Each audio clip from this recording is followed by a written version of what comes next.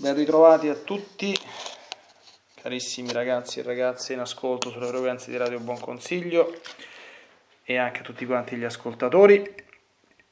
Un santo pomeriggio e Ave Maria da parte di Don Leonardo Maria Pompei per una nuova puntata di Spazio Giovane che è dedicata, come sapete, è da molto ormai che ci stiamo dedicando a un ciclo di catechesi sulla preghiera, di cui siamo giunti alla ventottesima puntata.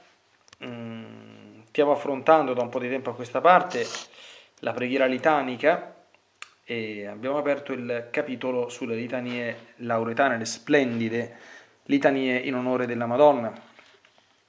La volta scorsa ci siamo soffermati eh, sul titolo di Vergine delle Vergini, eh, per spiegare anche il dogma della verginità perpetua della Madonna, l'importanza della verginità nella vita della Madonna e l'importanza della verginità nella vita cristiana. Purtroppo ci siamo soffermati soltanto su questa eh, litania perché mi sembrava particolarmente importante e particolarmente attuale, sia per le eresie che continuano a circolare su questo punto, soprattutto le blasfemie di chi attribuisce alla Madonna una vita matrimoniale regolare con San Giuseppe, e, e sia anche per la, per, per, per, dire, per la, forte crisi diciamo, che c'è eh, sul valore e l'importanza della verginità, purtroppo anche talora in qualche figlio della Chiesa Cattolica, quindi in qualche figlio di Dio, in qualche, in qualche eh, nostro fratello o sorella che dovrebbe portare alta la bandiera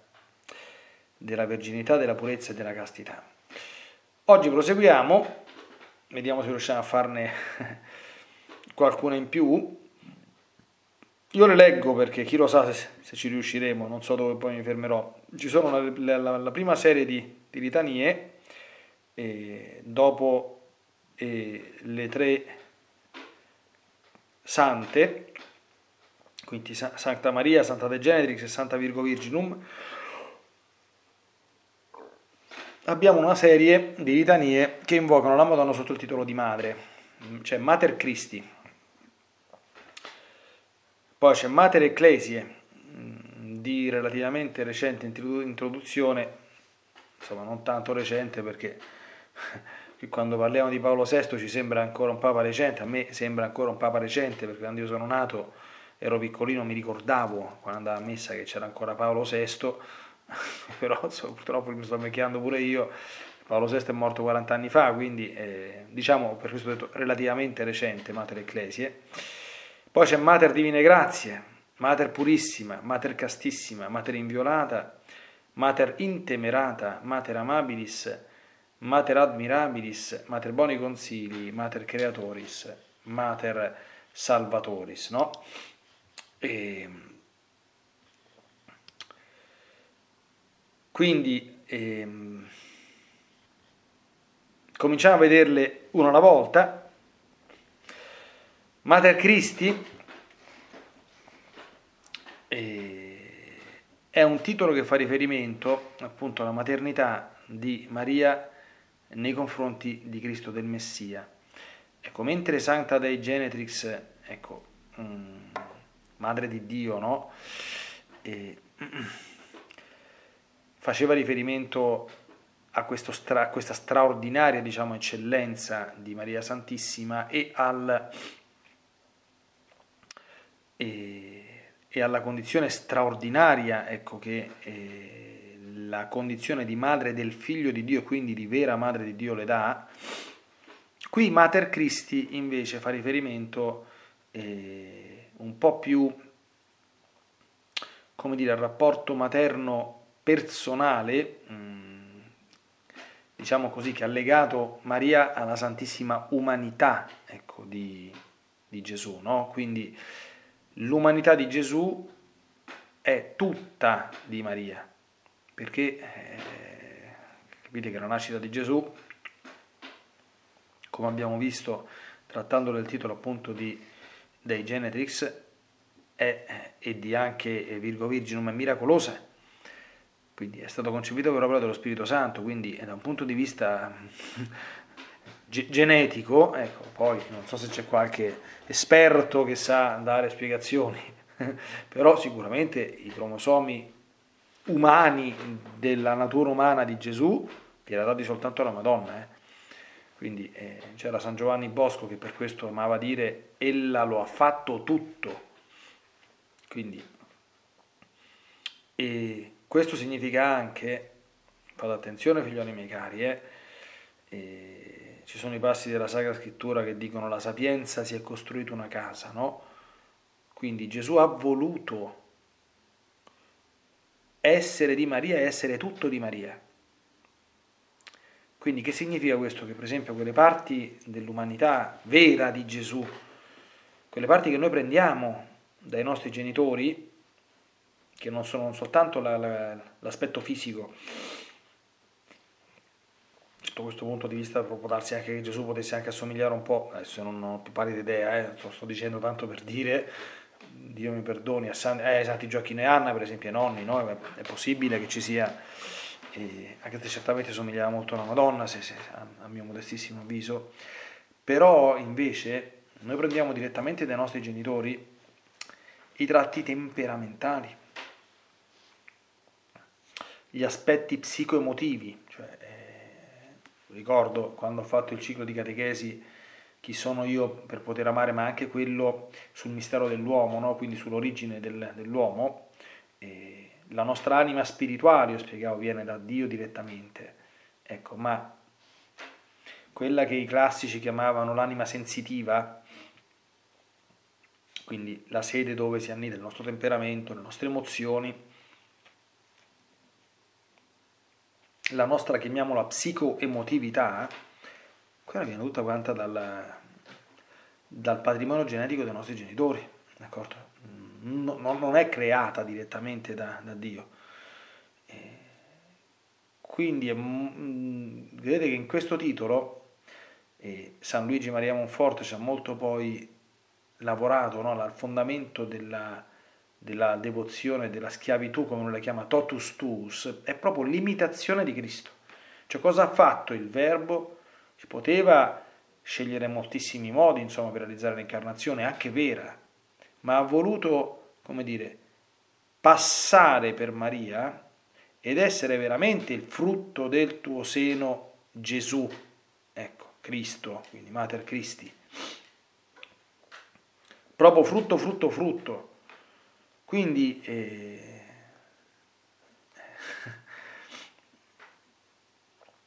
non dobbiamo avere paura di andare dalla, dalla Madonna e anche di andarci bene, insomma, perché Gesù lo ha fatto prima di noi.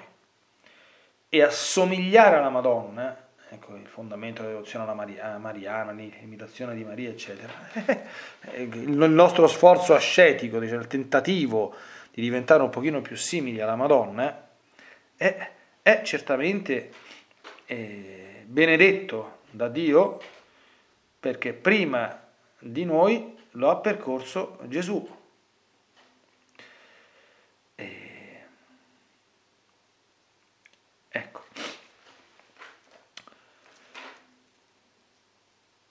Dopo Mater Christi abbiamo Mater Divine Grazie. Madre della Grazia Divina. Titolo meraviglioso. Allora, noi eh, invochiamo Maria, la Maria, come la piena di grazia. Così è stata salutata dall'Arcangelo Gabriele. Anche qui ricordo gli scritti di San Luigi Monfort. Dio ha radunato le acque e le ha chiamate mare, ha radunato le grazie e le ha chiamate Maria.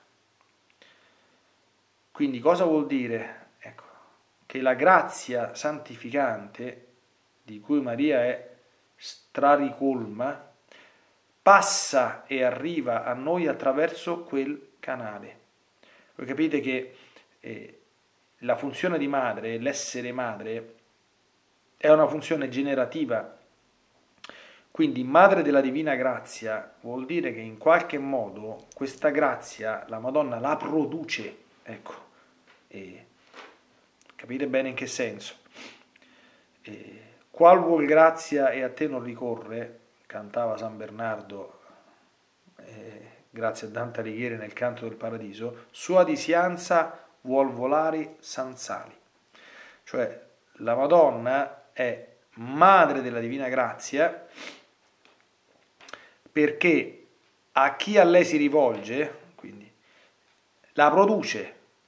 In che senso? Il peccatore che ricorre a Maria avrà la grazia della conversione, si andrà a confessare e recupererà la grazia santificante. L'uomo che cerca una grazia particolare la chiede a Maria e la troverà. Ecco, in questo senso, no? Molto bella quindi, eh, madre della grazia divina e di tutte le grazie divine. Prima di Madre Divine Grazie, ecco, ho avuto un'omissione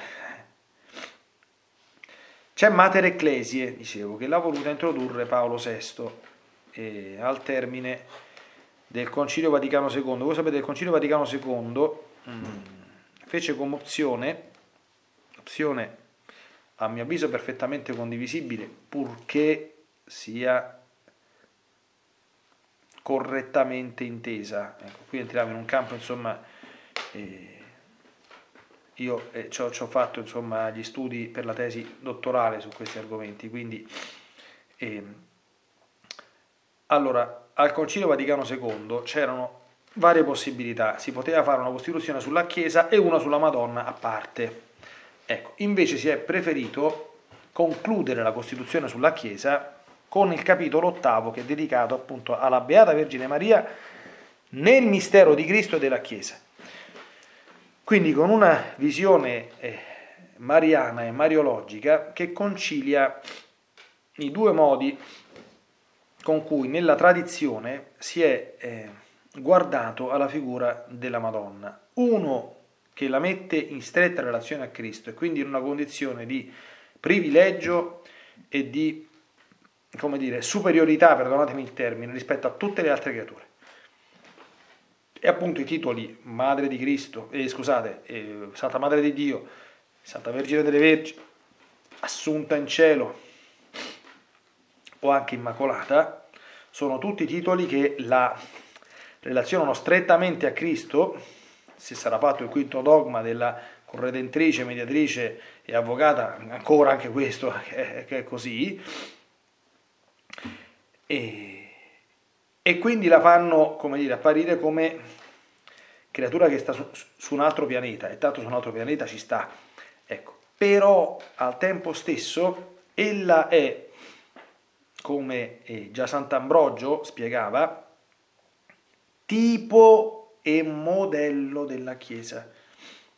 Quindi, di cui è anche, a titolo del tutto speciale e particolare, come vedremo, membro. Quindi non è che con questa seconda formulazione si abbassa la Madonna lungi da noi, ma però ne, ne, si comprendono ulteriori grandezze. Cosa vuol dire che la Madonna è tipo della Chiesa? È bellissima questa immagine qui. E, c'è, c'è, un capitolo a parte della, della mia tesi dottorale, quindi vi invito a credermi sulla, sulla fiducia a Roma presso l'Università Lateranense, trovate le copie e potete andarla a vedere personalmente, anche se è un po' complicato, insomma. E, tipo della Chiesa vuol dire eh, la tipologia mariana, a differenza di quella biblica, è un po' particolare perché tipo della Chiesa vuol dire in realtà prototipo della Chiesa, cioè prototipo perfetto, cioè ciò che la Chiesa è e deve essere Maria lo è in grado eccellentissimo, cioè tutto ciò che la Chiesa, per volontà di Dio, è chiamata ad essere, ripeto, è personificato in questa sola creatura. Al tempo stesso è modello della Chiesa, perché? Perché la santità di Maria è esemplare della santità di tutti i membri della Chiesa. Capite? Perché non c'è virtù che la Madonna non abbia e non abbia in un grado inimmaginabile di eroicità e di eroismo. Non c'è. Al tempo stesso è anche membro eccellentissimo della Chiesa. Perché eccellentissimo? Ecco, perché da un lato, capite, o uno è Cristo, quindi è il Salvatore, o uno è Chiesa, cioè il salvato. Non dobbiamo avere paura di dire che la Madonna è stata salvata, perché l'ha detto lei stessa. L'anima mia magnifica il Signore, il mio spirito esulta in Dio mio Salvatore.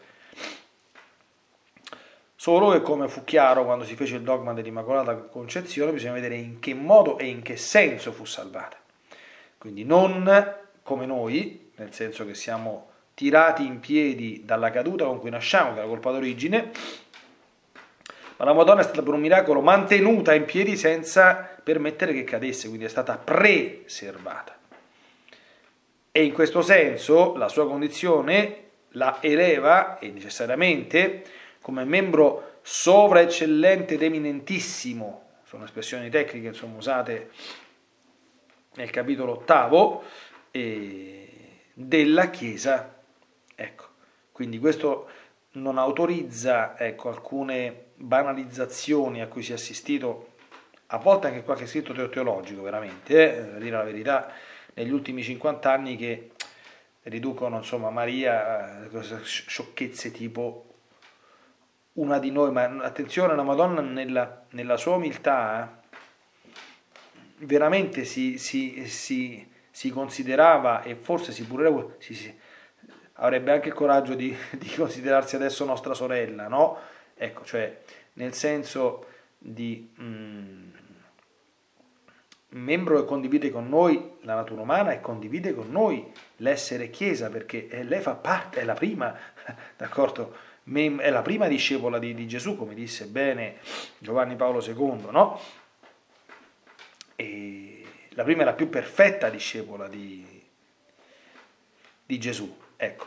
Però, sempre in questa condizione straordinaria, quindi in realtà, ecco, le guerre che si sono fatte tra i fautore della Mariologia si chiama così cristotipica, quella della Mariologia ecclesiotipica, queste parolacce, mm, o meglio questi paroloni servono a indicare le due dimensioni che vi ho accennato, insomma, no? e che l'ottavo capitolo della Roman Gentium ha voluto cercare di sintetizzare. Ecco, quindi eh, cercando di comporle in armonica unità, perché in maniera molto molto cattolica Ricordate sempre che il cattolicesimo è la, eh, è la fede, dico fede perché qualcuno è allergico al termine religione, va bene, comunque, come uno preferisce, del et et. Dice che la Madonna dobbiamo concepire in riferimento a Cristo o alla Chiesa. No, la Madonna dobbiamo concepire in riferimento a Cristo e alla Chiesa. La fede o le opere, qualcuno diceva, la fede e le opere, la scrittura o anche il magistero, la scrittura e anche il magistero, eccetera, eccetera. No? Ecco, quindi let et che si impara. E... Quindi però il titolo di Mater Ecclesie ecco, aggiunge una funzione bellissima, e, cioè che la Madonna coopera alla... Eh, edificazione della Chiesa. Ecco.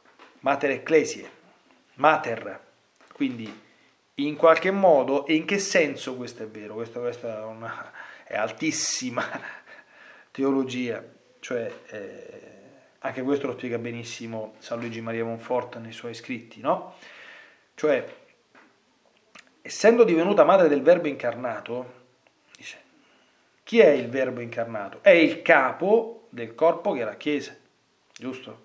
Ecco.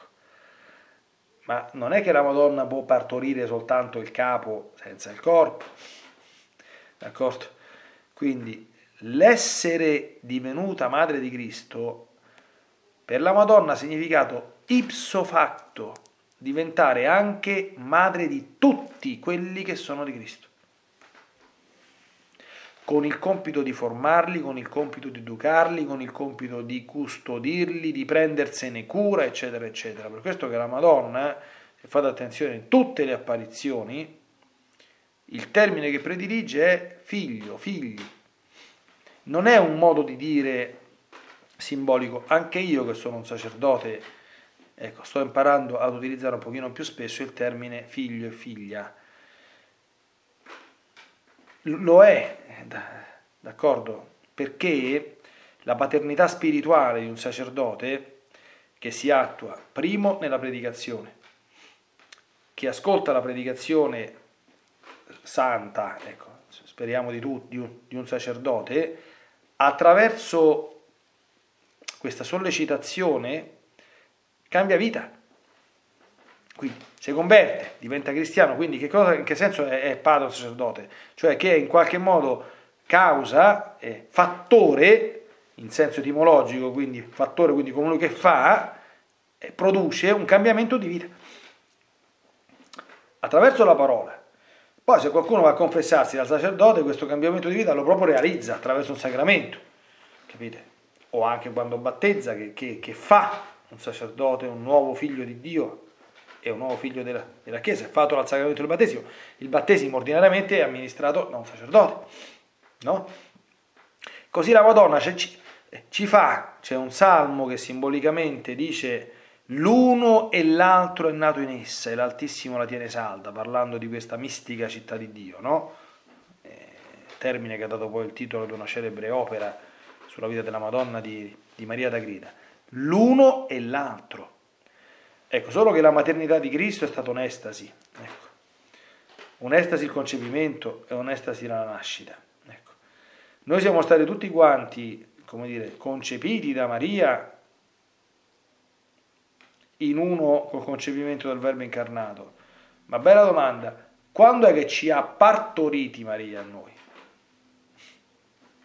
Sul Calvario. Ecco perché il capitolo 12 del libro dell'Apocalisse, che gli eretici travisano per andare a negare il parto virginale, dice nel cielo apparve un segno grandioso, una donna vestita di sole, con la luna sotto i suoi piedi e sul suo capo una corona di 12 stelle, incinta e gridava per le doglie e travagli del parto. Mica perché ha partorito Gesù soffrendo e contorcendosi nei, nei, dolori, come anche in qualche film ho avuto già modo di dire e rappresentato, è che è una blasfemia, perché è la negazione della verginità della Madonna durante il parto. Anche se magari chi l'ha fatto non ci ha manco pensato e non aveva sua intenzione di, di, di fare una cosa di questo genere, no?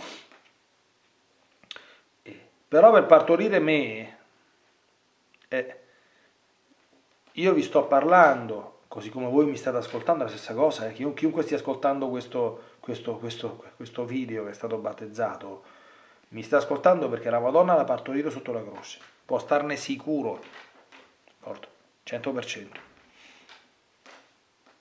Quindi noi siamo costati tutto il sangue e tutte le pene di Gesù? Sì siamo costati anche tutti i dolori della Madonna e tutte le sue lacrime.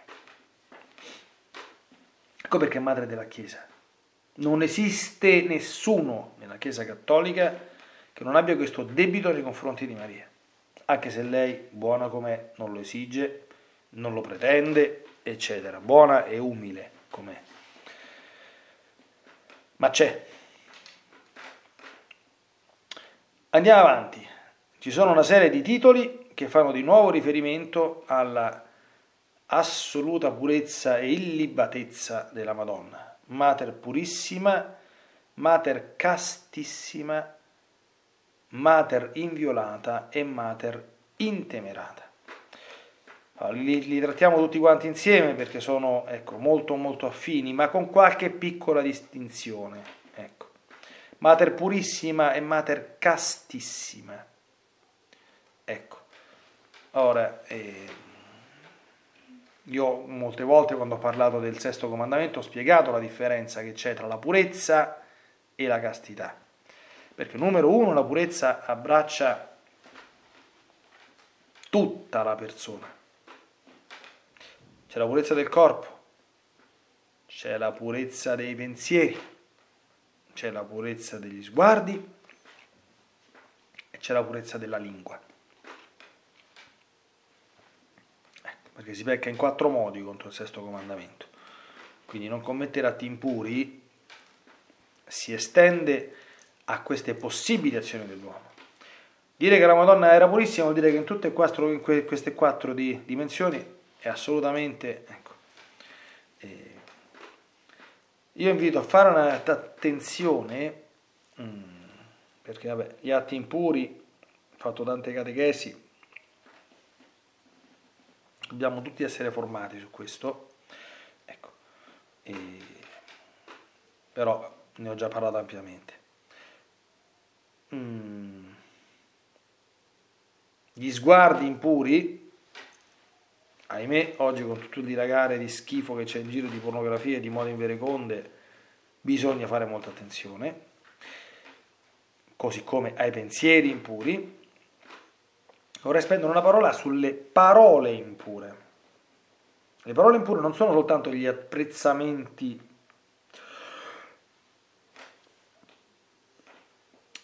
su qualcosa, su qualche attributo, diciamo così, di, di, di qualcuno, ma sono anche eh, quelle che si chiamano tecnicamente il turpiloquio. Voi immaginate la, la Madonna che si azzarda a, a dire non, non, termino per rispetto ovviamente all'Immacolata Santissima, no? come nostro modello eh, dobbiamo sempre attingere eh, esempio della sua purezza ed anche chiedere alla Madonna che ci purifichi eh, in quello di queste quattro modalità in cui siamo deboli. La Madonna è anche castissima, anche se la sua castità è stata vissuta in maniera sui generis. Ecco. Però la distinzione tra purissima nel senso che eh, lei la castità coniugale, ecco, l'ha vissuta in maniera straordinaria. Ecco, voi sapete, qua, mh, mm, ci sono varie forme di castità, cioè la castità è un'unica virtù, però ha varie eh, forme di attuazione, ha varie modalità per essere vissuta. C'è la castità del celibe o della nubile, c'è la castità del consacrato e della consacrata, c'è la castità dei fidanzati e c'è la castità anche degli sposati. Eh, perché anche gli sposati devono essere casti. Questa è una cosa che non sempre è molto chiara. Ho fatto tantissime catechesi in merito, no? E chiaro che la castità di un consacrato si esercita da un punto di vista fisico nella continenza, quindi nell'astensione da ogni forma di esercizio venereo della sessualità, ecco, che viene però sublimata, uno, in un rapporto tenero, intenso e profondo d'amore con Gesù e con la Madonna, perché sia un uomo che una donna rimangono eh, con un cuore ecco, pulsante, che non può, non può e non deve diventare un pezzo di ghiaccio. Quindi l'esclusività di questo amore totalmente mistica e spirituale dato nei confronti dell'Altissimo e di Maria anche, mentre nei confronti di tutte quante le persone, fratelli e sorelle che Dio si manda, si ha un amore casto, quindi distaccato da un punto di vista fisico, ma al tempo stesso caldo, quindi capace di vicinanza bella, pulita, disinteressata che esige certamente un grande controllo ascetico, perché il consacrato e la consacrata rimangono figli di Adamo ed Eva, ecco, ma che però deve essere vissuta, è brutto ecco, vedere un consacrato o una consacrata che sia completamente senza amore percepibile nei confronti dei, dei fratelli, no? Ecco, io uso tranquillamente il termine amore perché non, non, voglio ecco, adesso rifare riferimenti all'enciclica di, di, di, di, Benedetto XVI, la Deus Caritas Est, che a mio avviso è un, è un grande eh, capolavoro che per, perché per comprendere bene la differenza tra la carità cristiana, che non è la caritas, il fare dare le elemosine ai poveri, e l'amore erotico umano, no? E, però la carità deve essere in qualche modo visibile e percepibile, altrimenti non lo è. Quindi la castità di un consacrato non è una freddezza indiscriminata nei confronti di, di, di tutti, ma è una capacità di vicinanza pulita, eh, affettuosa ma distaccata nei confronti di tutte le persone che Dio gli manda. Ecco, perché c'è appunto questo aspetto della paternità e della maternità. Quindi è una vicinanza modellata sul rapporto tra padre e figlio, o tra madre e figlia. Una persona che è celibe, ecco, quindi che ha scelto di non sposarsi, ecco, deve vivere nella continenza eh, e deve vivere la sua affettività diciamo, nella relazionalità cordiale con tutti, eh, facendo però eh, qui in questo caso molta molta attenzione perché non c'è la grazia di Stato. La stessa cosa vale per una persona che è in attesa di trovare il fidanzato o la fidanzata, quindi l'anima cosiddetta gemella. I fidanzati vivono la castità, l'ho detto in tante catechesi, come luogo eh, in cui limitano ecco, l'ardore reciproco che hanno eh, ad esprimersi attraverso le effusioni di affetto, che non coinvolgano la, eh, cioè, che non coinvolgano la sfera venerea.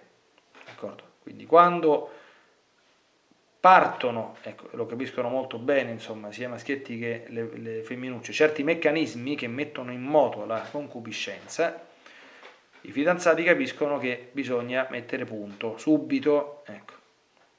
Se vogliono vivere secondo Dio, certamente, eh? noi stiamo parlando di mater castissima, quindi qual è che è modello di tutte le forme di castità. E, e poi c'è il discorso delle persone sposate. La Santa Romana Chiesa, io non mi invento nulla, eh? basta leggere la Gaudium et Spes del Concilio Vaticano II, parla degli sposi che si uniscono in maniera Casta, questo lo diceva già Pio XI, eh, nel 1931 nella Casti Connubi, e umana, in queste due parole ci sta tutto, d'accordo? Tutto. Quindi eh, bisogna fare delle belle riflessioni, quindi pensare come si uniscono gli uomini, quindi di romano vuol dire in maniera differente da come si uniscono gli animali, quindi basta che uno sforza un pochino la mente e subito capisce. Ecco, la castità coniugale richiede poi, come sapete, questo è insegnato Paolo VI nelle Umane Vite, che non si dissoci, non si disgiunga l'aspetto unitivo da quello procreativo. Quindi insieme all'amore reciproco che è esprimibile anche in senso ecco, eh, erotico dentro il matrimonio per la forza del sacramento, però non va disgiunto dall'apertura all'accoglienza della nuova vita che rimane il fine primario della sessualità. Quindi salvo che non ci siano gravi motivi e brevi periodi per astenersi nei periodi fecondi, quindi usare i cosiddetti metodi naturali, gli sposi devono, per unirsi castamente, devono avere questa apertura alla vita, che ovviamente escluda tutte quante le altre forme di unione, ecco, eh, alternative, e qui mi, mi, mi capirete, eh, che non sono benedette da Dio, perché ripeto, con il Magistero della Chiesa, l'attività sessuale mantiene sempre l'unione tra l'amore e la procreazione. Quindi gli atti che non sono, diciamo così, eh, ordinati alla procreazione, gli atti venerei, non, non, non sono leciti né fuori, del, né, né fuori del matrimonio, ma nemmeno dentro il matrimonio. Capite? Ecco. Questo per dire un pochino, ecco, la Madonna è modello di tutte queste forme di castità. Mater inviolata. Ecco, si capisce il termine?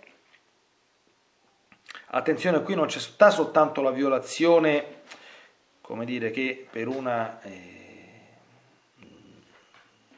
donna per un appartenente alla specie umana di sesso femminile comporta come dire, la cosiddetta ecco, perdita della verginità, la deflorazione insomma, che eh, inevitabilmente insomma, si, si consuma quando c'è il compimento del primo atto sessuale. La Madonna queste cose non le ha mai fatte, e... però è andata oltre, cioè la Madonna è stata inviolata sotto tutti i punti di vista Ecco, c'è una bellissima antifona mariana che dice che sola inviolata per mansisti. o benigna, o regina o Maria, sola inviolata per mansisti. Cioè non c'è stata violazione nemmeno minima dell'integrità assoluta della persona di Maria. Non l'ha toccata la macchia originale, non l'ha toccata, non l'ha sfiorata nemmeno il più piccolissimo peccato e nemmeno la più piccolissima imperfezione. È la perfetta Maria Santissima. Quindi il demonio non c'è riuscito a entrare lì dentro, nonostante che ci abbia provato per tutta la vita terrena della Madonna. Ecco perché con le anime mariane hanno, mh, anche questo lo spiega bene San Luigi Maria Monforto, questa serena fiducia che appoggiandosi in Maria, anche se magari ne hanno fatte qualcuna, magari presto o tardi, presto o tardi, i demoni se ne vanno via con la coda tra le gambe, tutti, tutti. Perché in me io purtroppo non sono inviolato, sotto vari punti di vista, ma la Madonna sì.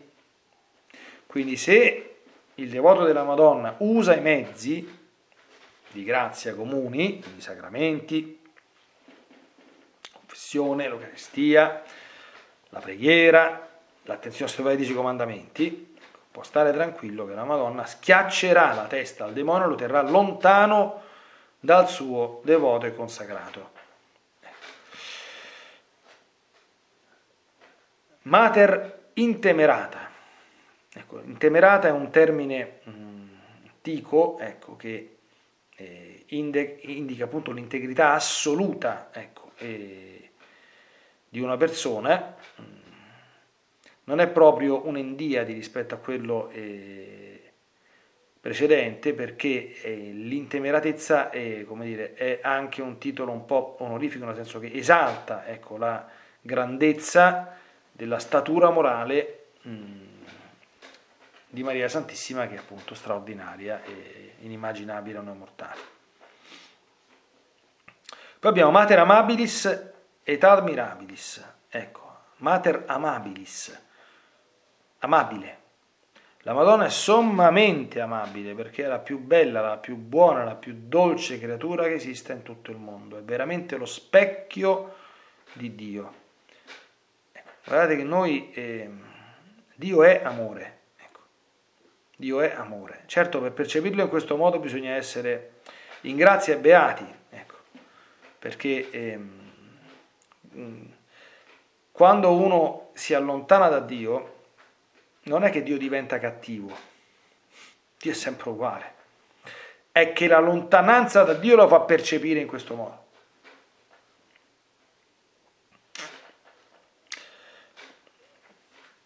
Ma Dio è somma bellezza, Dio è somma bontà, mm. Dio è somma amabilità, ecco, perché non c'è niente di più amabile che Dio Santissimo. La Madonna che è nello specchio fedele, terzissimo, è assolutamente amabile. E dobbiamo amarla quindi. dobbiamo, un consiglio vivissimamente, ecco, senza nessuna paura di esagerare. Nell'amore con la Madonna non si esagera.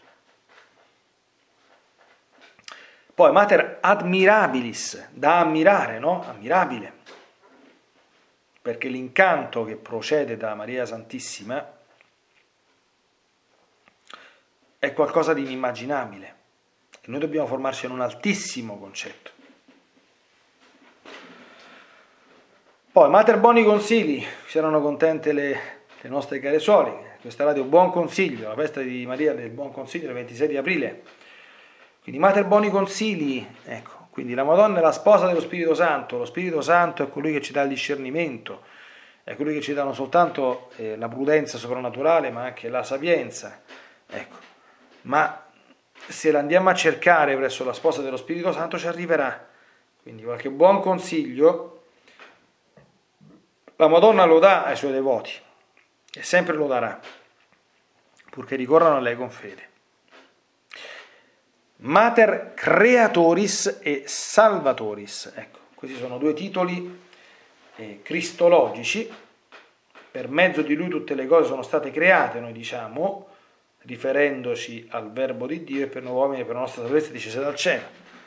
Quindi la Madonna è vera madre di colui che ha creato l'universo, per mezzo del quale tutto l'universo è stato creato, ma è anche madre. Voi capite, qui c'è un eco tra l'antica altra disputa, perché anche, anche sulla Madonna hanno fatto un sacco di dispute. Dice, ma se l'uomo non avesse peccato il verbo si sarebbe fatto carne oppure no?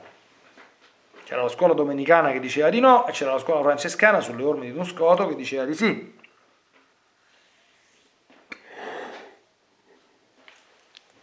Io penso che certamente di sì. Ecco, si sarebbe fatto uomo ugualmente Gesù, ma non avrebbe sofferto. E quindi non sarebbe stato salvatore perché non avrebbe avuto niente da salvare, ma sarebbe stato Signore e, come dire, e, e mi viene da dire onorificatore ecco, della natura umana, che sarebbe stata insignita della grazia e dell'immensa dignità del verbo che se ne riveste eh, della nostra natura unendola alla sua persona, appunto per elevare il creato a questa massima forma di unione possibile con Dio che trova la sua vita appunto nel verbo incarnato. Ecco, solo che la Madonna è Mater Salvatoris perché Gesù è venuto sulla terra col peccato originale compiuto con una montagna di peccati da salvare. Ecco, quindi essendo madre del Salvatore, condivide la missione del Salvatore e ha cooperato, questo lo dice anche il capitolo ottavo della Costituzione Lumen Gentium, alla salvezza del genere umano, in maniera ovviamente subordinata a Cristo e a lei propria, quindi prevalentemente con la sua sublime preghiera, ecco, ma anche con la sua presenza sotto la croce, dove come accennavo prima c'ha appunto partoriti ecco, in queste doglie e travagli del pianto. Bene, sono abbastanza contento che sono riuscito a fare le litanie riguardanti la, il titolo Mater. Ecco, la prossima volta cominceremo sicuramente la seconda serie andando poi rapidamente verso la conclusione. Intanto vi do la mia benedizione, vi auguro una santa serata a tutti. Ave Maria.